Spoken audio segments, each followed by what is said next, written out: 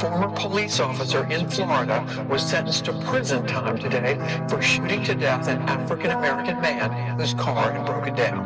The killing in Florida is getting national attention, as have a number of cases of police conduct and questionable shootings in recent years. But as Amna Nawaz tells us, most cases of police misconduct are not in the public eye. I told my family they could quit working. Quit working. But it's hard, my people still hurting. Still hurting.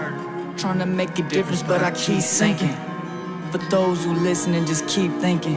Know that I'm as dark as you, yeah, as light as me. I'm as dark as you, yeah, I need y'all to know that. I'm as dark as you, yeah, as light as me. I'm as dark as you.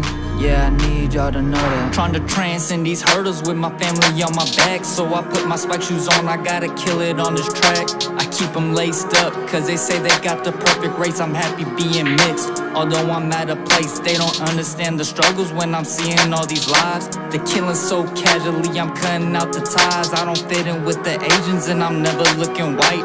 Double conscious real when they asking who am I but who the fuck are they? Please don't worry about my life. I think the world should be equal And treated all the same.